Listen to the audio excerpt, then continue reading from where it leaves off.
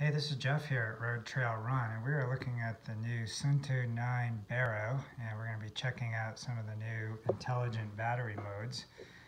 Uh, you start by going to exercise, trail running, then you've got, this is I think what I have is the custom mode. It's predicting 17 hours at I think I have 85% battery life here on the watch. If you go down, you can go to options. So this says that it's custom battery mode. You can toggle on or off heart rate, toggle it off, it saves some battery. Uh, if you scroll back up, just by turning that off, it's predicting another four hours scroll back down. Turn the backlight, it's, it's off. If you turn that on, go back up. Now it's predicting just seven hours. So if you if you want backlight on all the time, it looks like that takes up quite a bit of uh, battery power. So you probably wouldn't want that, so we'll turn that off. Theme, could do light or dark.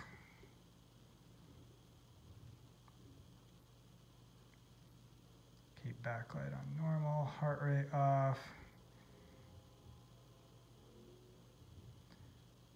Here it's predicting in performance mode 28 hours, endurance mode that's at 60 second intervals 55 hours, and ultra mode, which is two minute tracking intervals that will be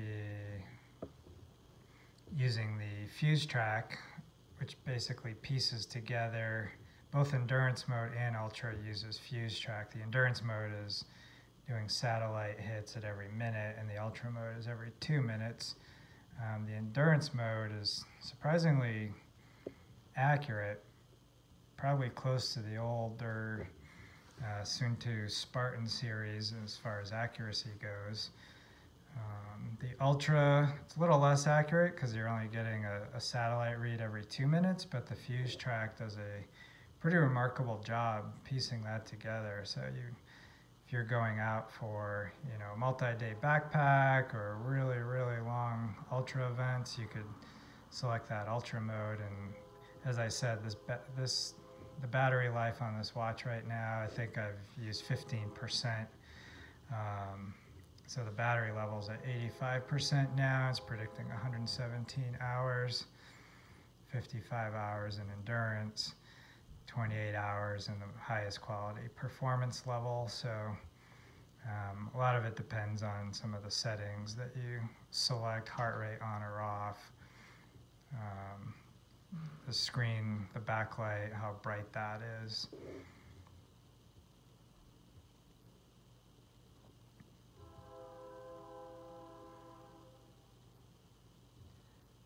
Auto pause on and off.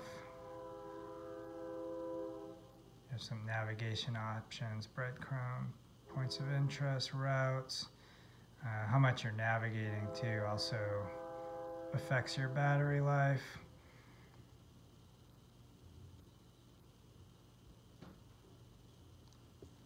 Start, I'll start tracking your activity right away here. Takes a um, minute to get a heart rate read. I'm trying to do it off of my finger here, but you can swipe through the different the different features here or data screens. It's wanting me to calibrate the compass.